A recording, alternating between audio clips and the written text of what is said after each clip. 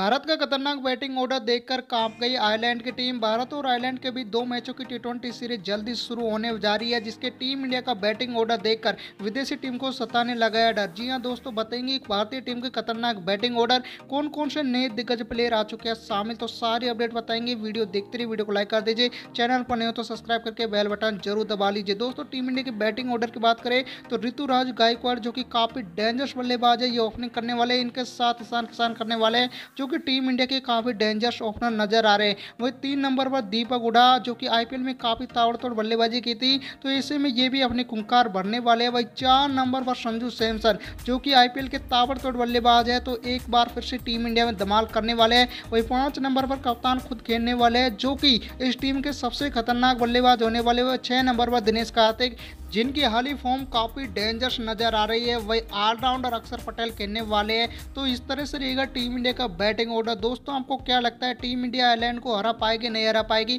Comment section में yes और no का आंसर ज़रूर बताइए। इसे में टीम इंडिया इसी बैटिंग ऑर्डर के साथ उतरती है। तो टीम इंडिया को कोई सी भी टीम नहीं हरा सकती, क्योंकि टीम इंडिया के पास भुवनेश्वर कुमार बॉलिंग के रूप में हाविज खान भी रहने वाले हैं, जो कि आयरलैंड टीम को बुरी तरह से सिक्स करने वाले दोस्तों, आपको क्या लगता है, टीम इंडिया मुकाबला जीतेगी, नहीं जीतेगी? कमेंट सेक्शन में ज़रूर बताइए। इसी अपडेट के लिए चैनल ज़रूर सब्सक्राइब कीजिए।